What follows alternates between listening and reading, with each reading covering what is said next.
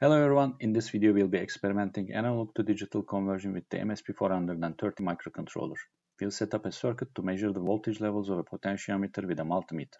And by writing C code in the Code Composer Studio for the ADC module of the microcontroller and serial monitor, we'll be able to compare the results in real time.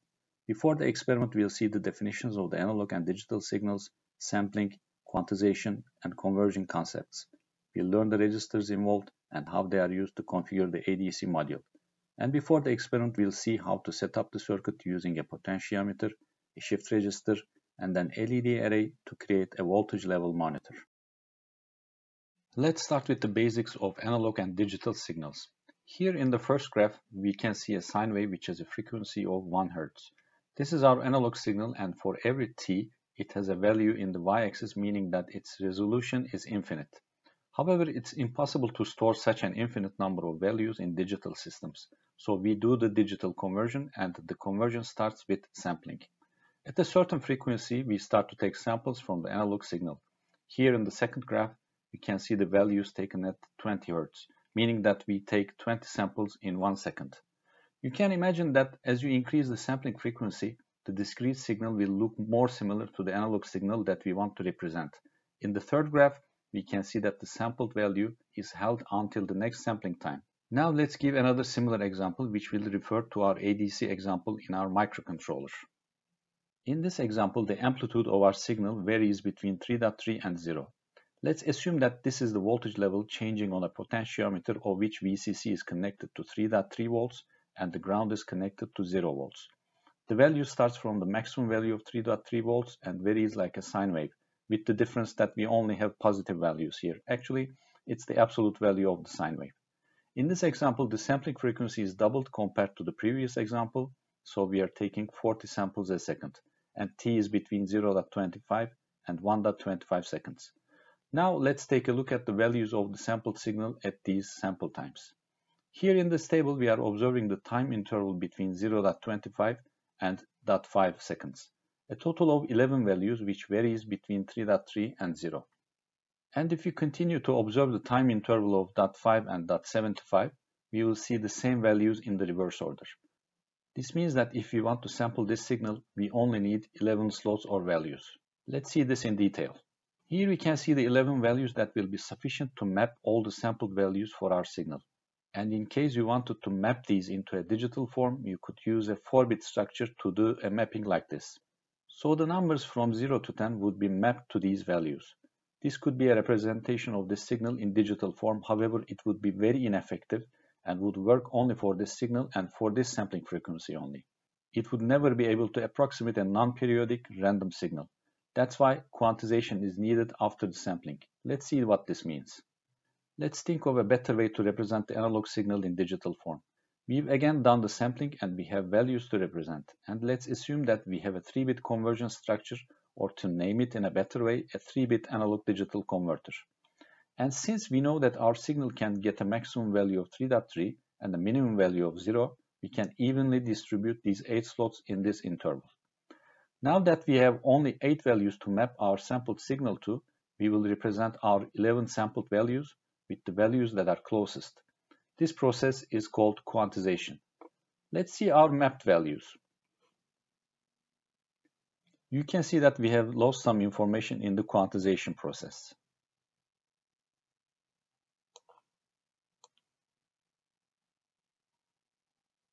If we use more bits during the conversion, our resolution will be better.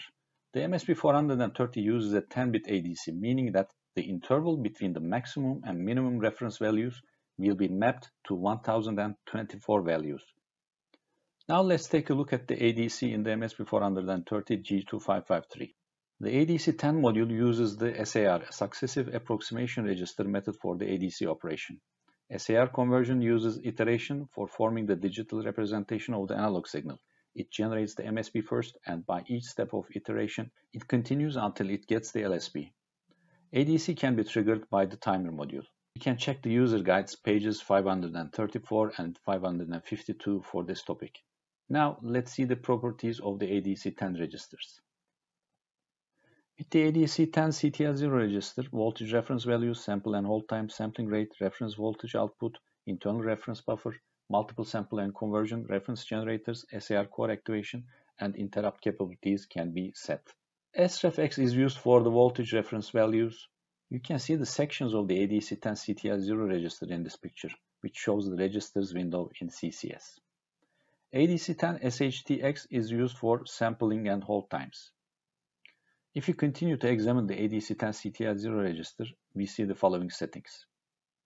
Now let's open the user guide and see the explanations there for this register. In the user guide, page number 553, we can see the ADC10CTL0 register. You can see that it's a 16-bit register and the most significant part is the SREFX, which is for selecting the reference. We are going to be using 000 because we are going to be using the internal references as VCC and VSS.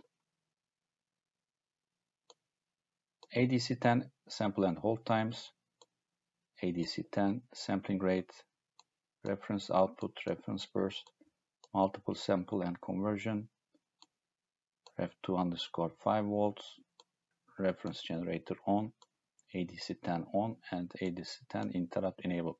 So we are going to be using this ADC10 on as well.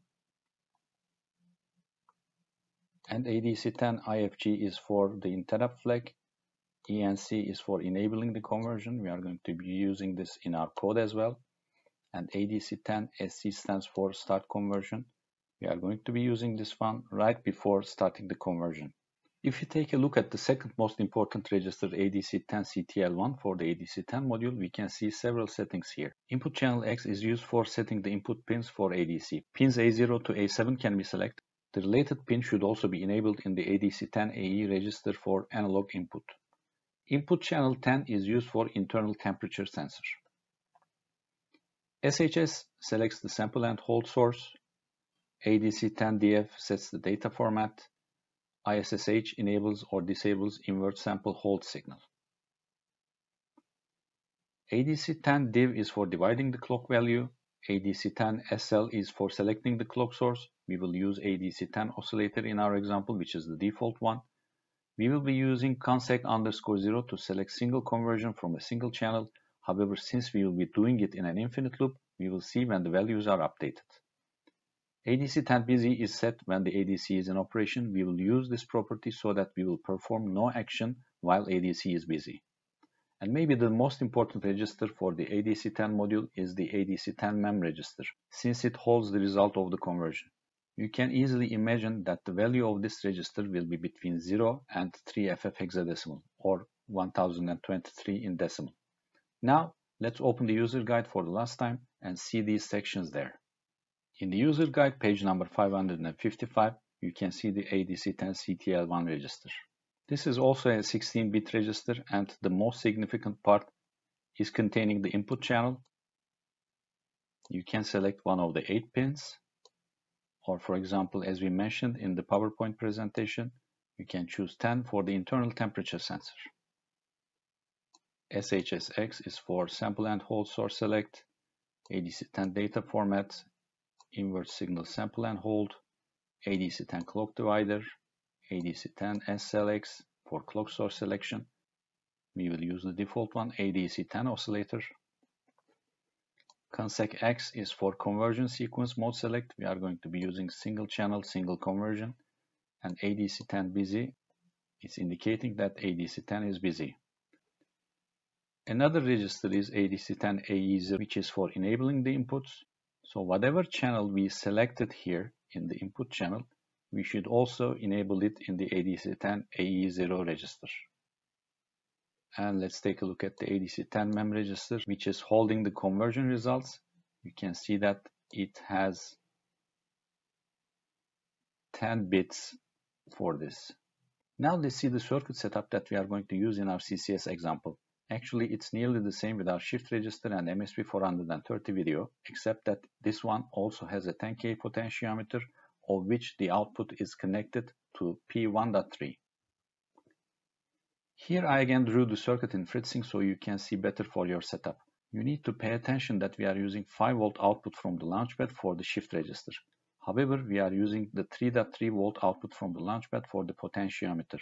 In our experiment, we are going to connect a multimeter to measure the output from a potentiometer and at the same time, by using the ADC module of the MSP430, we are going to get this potentiometer output to the P1.3 port on the launchpad and do the ADC conversion and we are going to compare the values that we see in the multimeter and in the serial monitor for the MSP430. In addition to this, we are going to turn on the LEDs that are connected to the shift register in a way that as the voltage of the potentiometer increases, the LEDs will act as a voltage level monitor. Now let's open CCS and see our code and experiment. Before I start explaining the code, let me mention that the link to the code is provided in the video description. In the beginning of our code, we are including the libraries that we are going to be using. Then, in line 7, I'm defining an array for the LED array that I'm going to use as a voltage level monitor. In lines 8, 9, and 10, I'm creating character arrays that I'll use while converting the voltage values to characters for printing on the serial monitor. In lines 11 to 14, I'm again defining some constant text that I'll print on the serial monitor. Lines 15 to 17 are for defining the connections from the shift register. From line 19 to 22, the functions declarations are given. Shift register clock, storage register clock and send bit are for the shift register and serial output is for the serial monitor. In the main function until line 38, the settings for the UART communications is done. The baud rate is 19,200. The part related with the analog digital converter is between lines 41 and 44, where sref underscore 0 is for reference voltage selection, which will be 3.3 and 0 maximum and minimum values. ADC10 SHT underscore 2 is for choosing sample and hold times as 16 times ADC10 clock. ADC10 on enables the ADC. In the ADC10 CTL1 register, we choose the channel 3 as input P1.3. SHS underscore 0 is for sample and hold source. ADC10 div underscore 0 does no division to the clock. Clock source is the module's clock. And with consec underscore 0, we set single channel single conversion. ADC10 input enable control register sets the analog input for P1.3 and then we enable the conversion in line 44. In our while one infinite loop, we start the conversion and while the converter is not busy, we do the following. We first assign the converted value from ADC10 mem register to memval variable.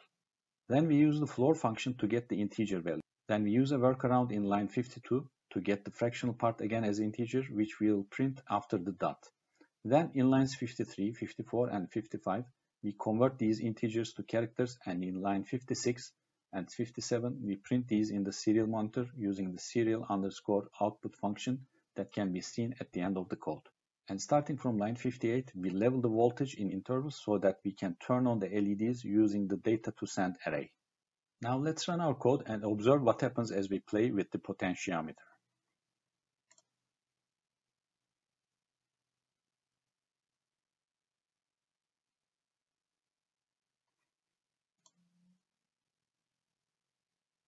I'm going to use PuTTY for connecting to our device. We are going to make a serial connection. My device is on COM3 and my speed was set to 19,200.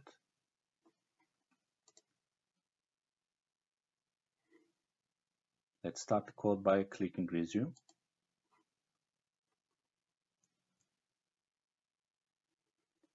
And let's increase this font size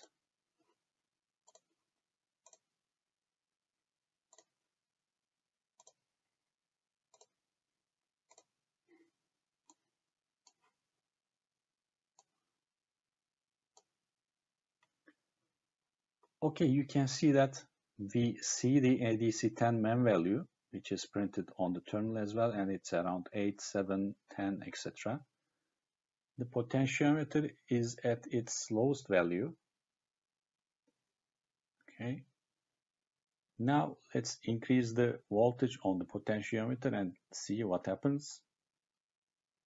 As I increase the voltage, we can observe it in our multimeter and we can observe it in our terminal as well. Let's continue increasing it. And as you can see, as I increase it, the LED array is also turning on gradually. And we can see that we are observing 1.9, something around 1.9 volts in the terminal, and also the same in the multimeter as well. I'm going to increase it to its maximum value.